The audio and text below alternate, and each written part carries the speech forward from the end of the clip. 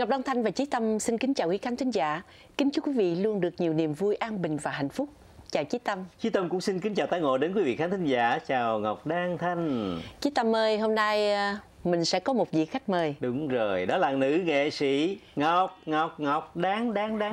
chào chị. chào chị Ngọc Đáng. Dạ. Chào hai bạn, ờ, chào Chí Tâm và chào Ngọc Đăng Thanh. Và Dạ. Ngọc Đăng xin có lời chào đến quý khán thính giả đang xem chương trình Tiếng Tơ Đồng.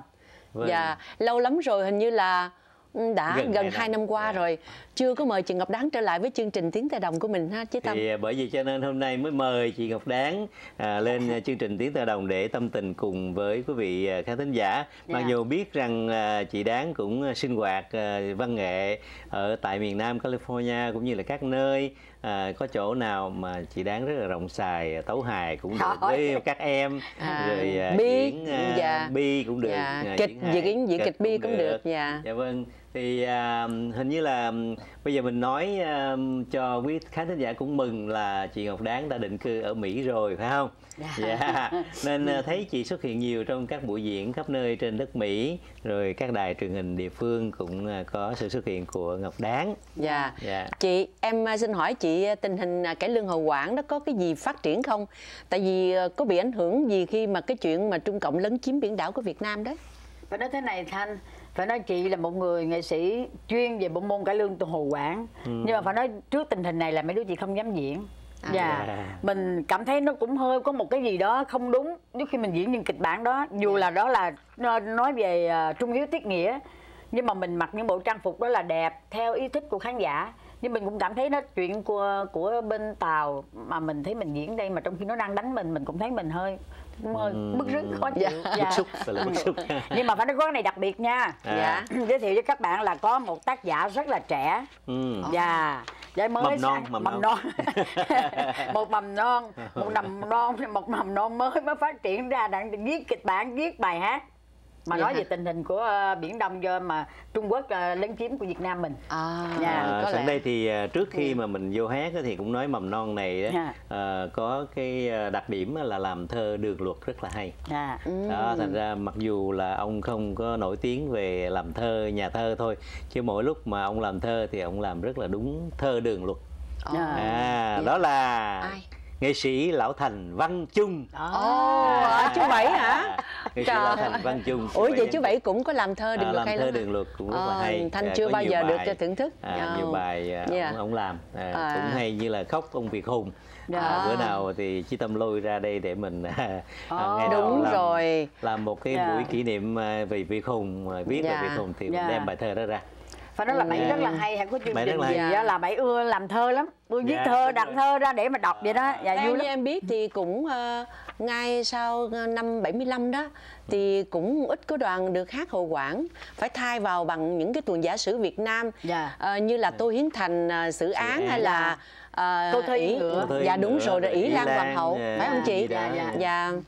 Thì ờ, theo như chị nói đó là chú Bảy đã viết một cái bài hát như thế này thì Dạ. ờ, em nghĩ có lẽ là vì ờ, chú Bảy lớn tuổi ở nhà nhưng mà cũng cảm thông được cái nỗi của nước Việt Nam của mình trong khi những người Tức là, dân đang ờ, còn Việt Nam người, thông những cảm người được dân nào dạ là cũng vậy có cái tinh thần yêu nước Dạ. Việt Nam thì đều cũng có những cho cái nên bức xúc ờ, dạ. dạ cho nên ờ, thể- chú Bảy đã ờ, sáng tác sáng tác Dạ, cái bài này là bài gì mầm chị non sáng Tam tác pháp mà nhập môn. À, nói điệu. cái bài này nó là nó nó bất ngờ thôi điệu Thanh. tam Dạ. pháp nhập môn Dạ. Phải nói là à, thường thường á là bên chương, chương trình mà cổ nhạc phương Nam à, chú Bảy với chị với lại à, Tuấn Châu ưa Dạ. hát. Ví Dạ. dụ như một người hát bài bài bài vậy đó cho Dạ. nó vui. Dạ. Thì cái bữa nó ngồi cái Bảy mới nói là ví dụ như thay vì à, Bảy à, là, là ông à, à, ông quan công nó đi là viết theo bén chân tàu tà, tà, Tàu tặc. tàu tặc Cái à. nói ủa tại sao cái bài này mình đâu có sửa là tàu cộng tới mà là để tàu tắt viết? Là cái bảy về nói qua ngày hôm sau là bảy viết liền. À. và chị hát nha tâm đàn chị hát bài này tâm nha đàn nha, hát, Dạ. à, hát bài à, tam pháp nhập môn. Tam pháp nhập môn chống tàu tặc. Dạ, tàu tặc nha. chống tàu tặc tàu cộng. Này Vâng, tàu cộng. Dạ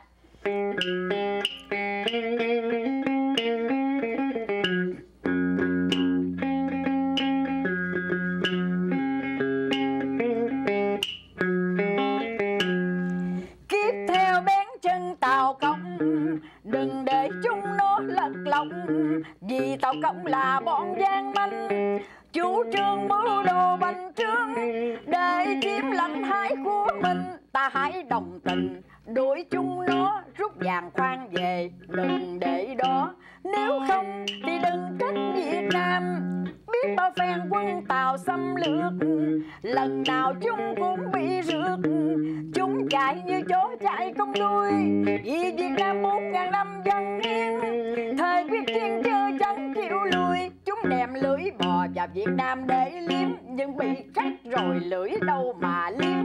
Nhục thay hỡi tập cất mình hay quá và nó là bài viết và nó là nó rất là ý nghĩa đúng trong cái rồi mà này. rất là hay cảm ơn chú bảy rất là nhiều với cái tinh thần yêu nước của chú sĩ bảy Văn Trung đã sáng tác một bài hát này à, và hôm nay thì à, sức khỏe của chú Bảy cũng yếu cho nên Dạ. à, đi đâu buổi tối thì cũng hơi ngặt Dạ. à, cho nên à, không có đi đâu nhiều. Dạ. Dạ. Vâng à, cảm ơn chị Đáng rất nhiều. Thì những cái bài hát này á, chí tâm nghĩ cũng thế cho hồ quảng được lắm. Dạ. Tại vì cái nhịp nó cũng rất là à, rập khuôn cũng như là à, hùng hồn, Dạ, hùng dạ. hồn. À, giống như bài à, Lý Cây Bông chẳng hạn á.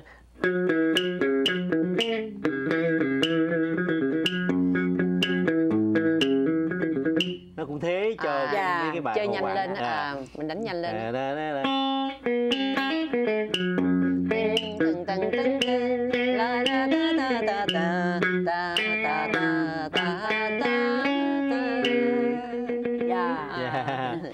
Hồi xưa tâm nhớ thì có những cái tuồng câu thơ y ngựa này cũng có Dạ. chêm những cái bài này vô có Dạ. những cái bài như lý chim xanh rồi lạc âm Dạ, kiều rồi âm tử quy từ rồi chị chị Dạ. có Vâng, còn vâng. nhớ mấy cái bài đó không em chị phải nói là cái đầu chị bị dở chị hát rồi chị quên liền luôn hát chị hát là liền. chị tập liền chị cố gắng lắm chị Dạ. phải nhớ nhớ lời em thấy là hát rồi nhưng mà buông ra rồi xong là chị quên liền dạ Sau khi em biết nữa dạ thì chị thanh thế lúc này sao chị lúc này chị khỏe được chưa Ồ, chị Thế thì ờ, hôm chị về Việt Nam tháng 3 thì chị Dạ. có vào bệnh viện thăm chị Thế Dạ. bị tim. dạ biết Dạ. Rồi sau đó là nghe nó có thông tim cái này kia nọ là chị Thế sau này cũng tương đối là khỏe rồi cưng.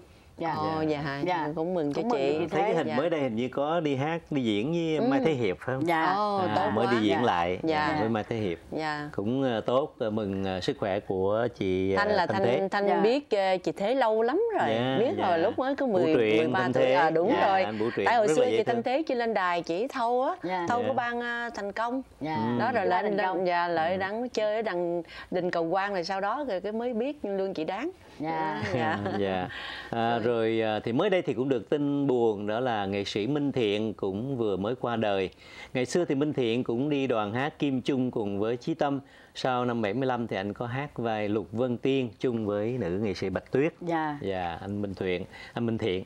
À, nguyện cầu cho hương linh của anh sớm về miền cực lạc và lúc sau này thì anh Minh Vương đó cũng Dạ. à, có hay tổ chức họp mặt nghệ sĩ Kim Chung Dạ. những người nào mà nghệ sĩ của Kim Chung à, mỗi chủ nhật à, mỗi sáng chủ nhật hàng tuần à, ở một cái nhà hàng đó mà Chí Tâm quên rồi à, cũng vui lắm à, quan hô tinh thần đồng nghiệp của nghệ sĩ Minh Vương anh Minh Vương là Dạ. à, Như bây giờ thì rất là tốt rất bây là giờ vui. chỉ còn lại có một mà mình anh Vinh Vương là đàn anh của trong Kim Chung thôi Dạ. bao nhiêu nhưng mà hệ. tại sao chí tâm như là anh minh dương á ảnh làm là chỉ là một cái nhóm nghệ sĩ của đoàn kim chung. Rồi Dạ. còn những đoàn khác thì sao? À, những tại sao đoàn ảnh khác thì cũng cho có thể tới được Dạ, thân hữu. dạ, nhưng rồi, mà hữu. đúng là là kim chung nhiều hơn dân kim Dạ nhiều hơn. Dạ. ở trong đó thì cũng có bảo anh mà bảo anh ngày xưa đâu có đi ờ, kim chung mà cũng tới tham à, dự. hồi xưa là có Anh Năm Thanh Sang cũng vậy luôn dạ đúng thanh không? sang À, cũng vậy. cũng tới Cũng dẫn dẫn đến vẫn à, đến đúng tham dự. Quá dạ cũng rất thật sự là những cái ngày đây là người nghệ sĩ đã lớn tuổi rồi Dạ. Thì Dạ, có để một cái ôn nơi- lại những kỷ đúng niệm. rồi, giống như hồi xưa nữa nhìn mặt nhau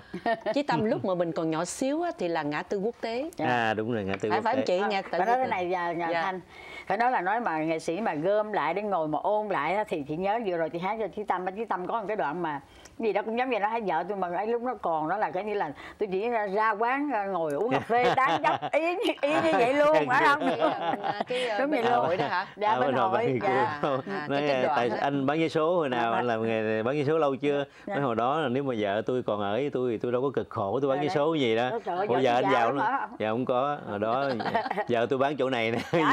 giờ nó bỏ tôi rồi tôi phải bán cực khổ vậy nè hồi đó tôi ở không tôi qua nhà hàng xóm chơi coi tivi rồi tôi tán dốc bậy bạ vậy đó. Thôi, em Còn lại lại. không có làm chứ. Dạ. Ở Việt Nam rất là nhàn nhã. Dạ. thì à, sẵn à, chị đáng nhắc á, thì mới hồi 1 tháng 6 vừa qua đó thì à, ba chị em có hát cho hội bạn người cùi. Ở trong chương trình đại nhạc hội tạ ơn trên người vẫn thương người Đó. hôm đó diễn cái chập cải lương là tình người xa xứ Người xa xứ. vui quá ha À. mà hôm đó à, Thành- à, em em em Thanh đóng cái vai bà Sơ, bà Sơ là số 7 nha À, sơ bảy, dạ vâng. sơ- À, nhắc tới đây thì có khi khán thính giả ở các tiểu bang xa không có về Cali xem được. Vậy thì à, bây giờ mình à, diễn lại cái đoạn này được không? Ừ.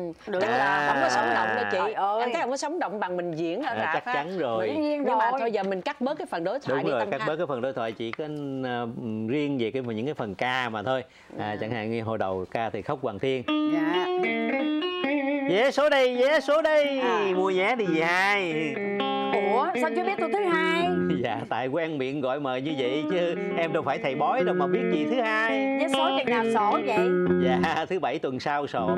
bữa nay chủ nhật mà tới thứ bảy mới sổ gì lâu vậy tôi muốn sổ liền ngày mai à có không? Dạ có, vậy thì uống thuốc sổ, thuốc sổ uống lần 8 viên, xin đọc kỹ hướng dẫn trước khi dùng nha. Nhớ ăn thêm nhiều chuối và uống nhiều nước lạnh, ngày mai sổ liền. trời đó chú bán vé số mà bán luôn cả thuốc sổ nữa hả? Dạ, thời buổi kinh tế khó khăn, kinh, kinh tế thị trường mà dì hai. Làm nghề tay mặt mà còn phải làm thêm nhiều nghề tay trái nữa mới đủ sống với dì hai à. Dì hai mua vé số hay là dì hai mua thuốc sổ dì hai? Vé số thì còn suy nghĩ lại. Chứ thuốc sổ mà bán dạo như vậy á mới uống vô đã sổ liền á, khỏi chờ đợi tới ngày mai. Như là tờ vé số bữa nay á, rồi đợi tới tuần sau mới sổ. Ủa? Cuốn sổ này á, chú lấy ở đâu mà đem về ban ở chợ này? Dạ, vé số thì em lấy ở đại lý đằng kia Còn thuốc sổ thì em lấy ở pharmacy à. Coi như kiếm thêm chút tiền thu nhập à. Chứ thời buổi này à, kinh tế khó khăn à. Bọn trẻ leo nheo lấp nhóc ở nhà Tiền học, tiền trường, tiền chở, tiền cơm. Bữa đói bữa no mà no ít đói nhiều. Vì hai thương tình giúp đỡ dùng em nha dì